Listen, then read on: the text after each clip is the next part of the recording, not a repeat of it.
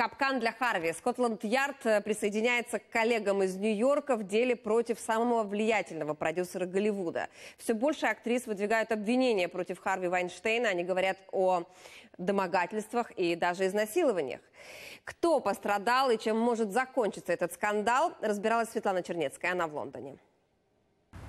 Его выгнали из собственной компании, от него ушла жена и отреклись друзья. Еще вчера самый влиятельный продюсер и легенда киноиндустрии. Сегодня потерянный 65-летний мужчина, брошенный даже самыми близкими людьми.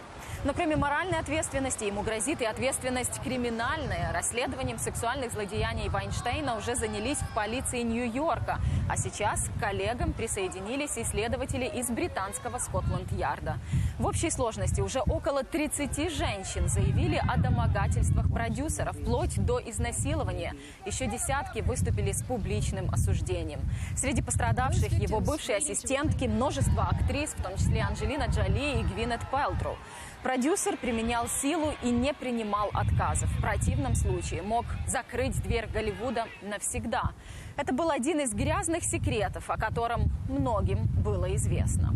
So some of the agents may have said, look, he's a little bit, mm, Некоторые агенты даже предупреждали, дескать, да, он немного льстивый и немного странный. Не переживай, он может домогаться тебя чуть-чуть, но ничего, подыграй ему. А все почему? Потому что все закрывали глаза на эту большую проблему.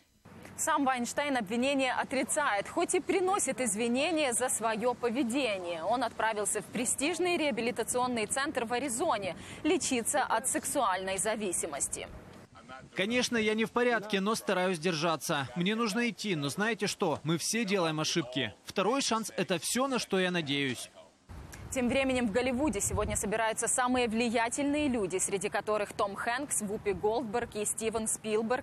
Они должны решить судьбу опозорившегося коллеги. Члены Американской академии киноискусств созвали срочное заседание, на котором могут исключить продюсера из своего элитного сообщества, а также лишить его Оскара, которого Вайнштейн получил в 99-м за фильм «Влюбленный Шекспир».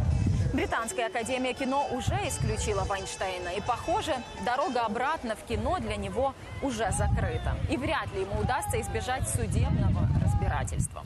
Светлана Чернецкая, Валентин Белич. Подробности. Британское бюро телеканала «Интер».